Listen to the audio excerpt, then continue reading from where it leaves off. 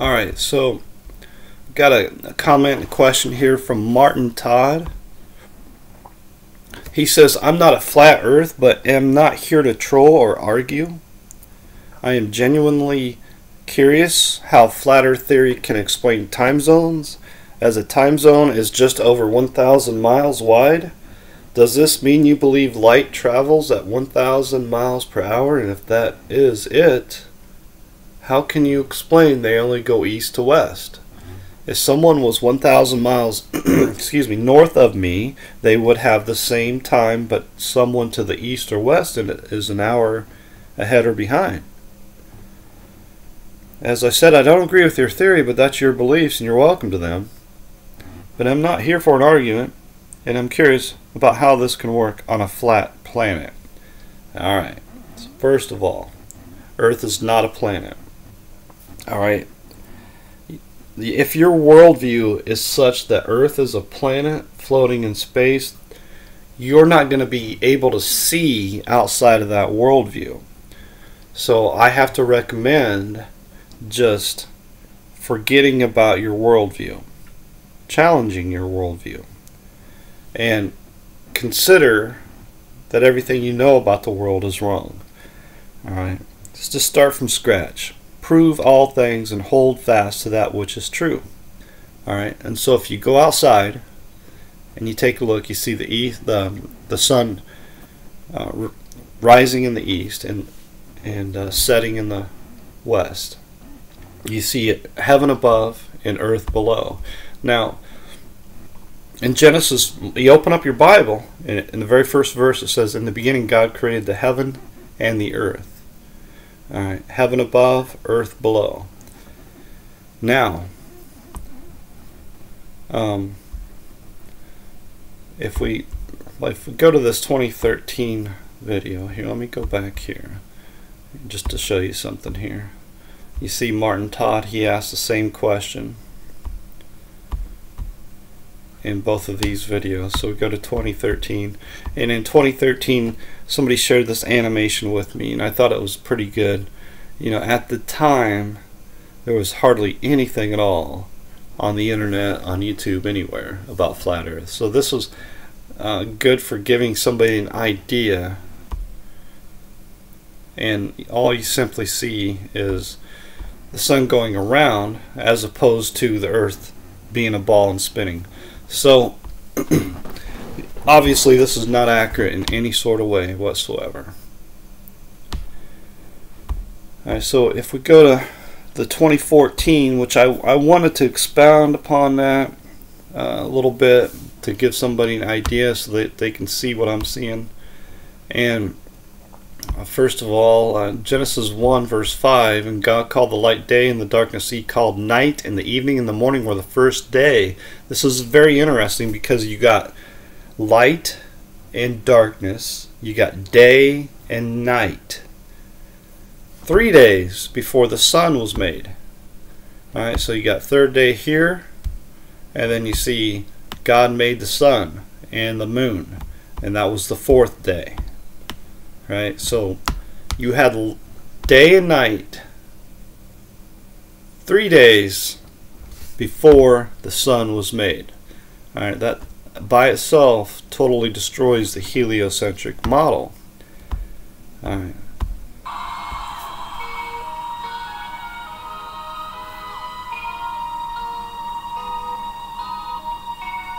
Well, here we go. Okay, so I like this image. It sort of splits uh, the light, if you will.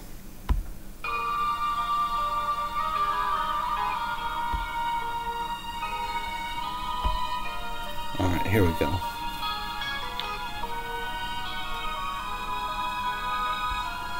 Alright, so somebody had uh, shared this animation with me and they did a great job. And you notice how the light is evenly separated from the darkness. You got dark on one side, you got light on the other side. Alright, and then that would be more accurate to what we see in reality and it, and it uh, lines up uh, perfectly with the Bible when it says um, God called the light day and darkness he called night God saw the light that it was good, and God divided the light from the darkness. Right? Then this uh, supports that 100% with the exception of the actual sun and the moon. Okay. Like I said, this was going on before the sun and the moon.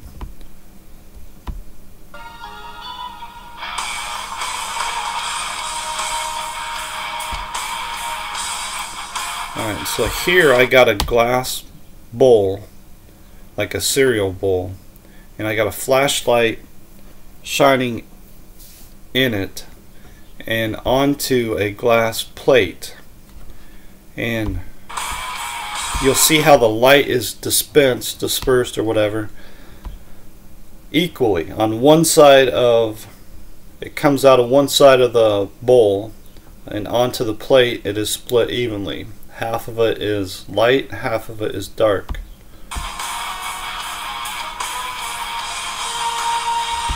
Alright, so this this is why I believe uh, you know they they'll teach little children that the earth is a ball and that the heavens are flat. In reality, I contend strongly that the earth is flat and the heavens are a ball in a sense, as demonstrated with the glass bowl.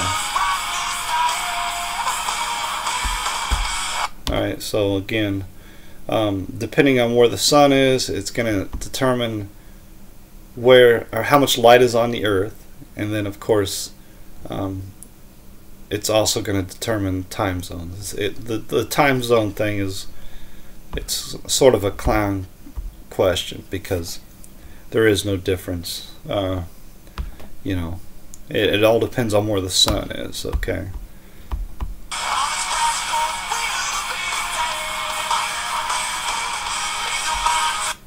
Alright, so if it's 12 o'clock straight here, then it's going to be 12 o'clock straight there. Alright, so one's going to be noon, the other's going to be midnight. That's how time zones work. Alright.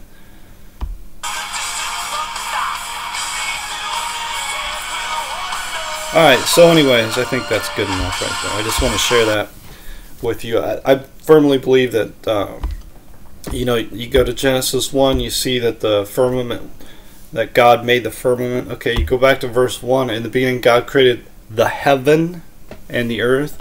And then, of course, when you get to Genesis 2, thus the heavens and the earth were finished. Notice plural. That's because in chapter 1, God made the firmament. And um, therefore, uh, and God called the firmament heaven. Therefore, we got heavens plural instead of just heaven singular right here. And again, if you have a Bible and uh, you have the Bible that you have says heavens in the very first verse, uh, throw that Bible in the garbage. No good. Right? No good at all.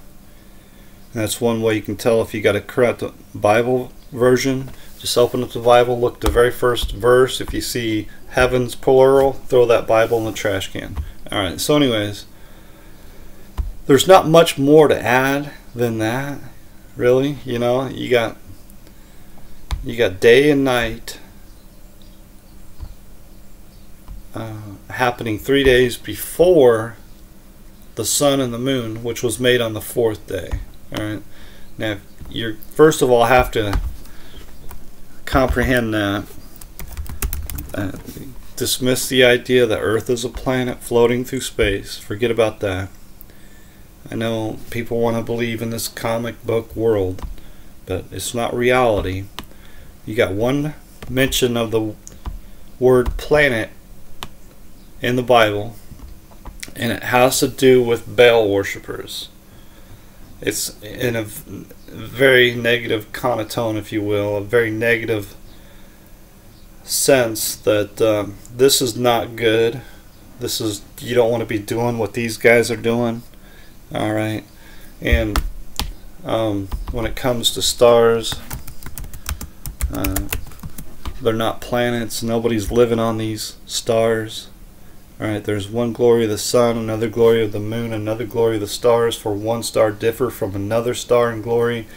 And the earth is not a star.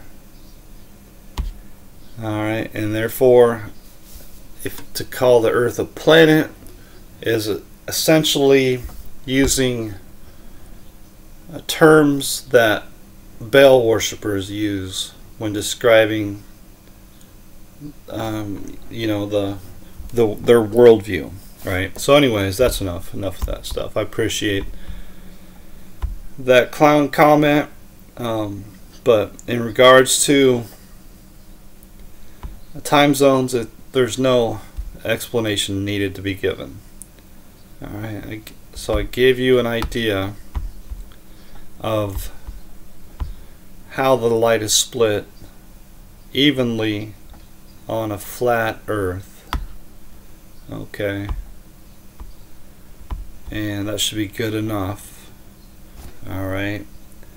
And if you have follow-ups please do ask but um, my guess is when you start out a comment says I'm not here to troll your number one intention is to troll.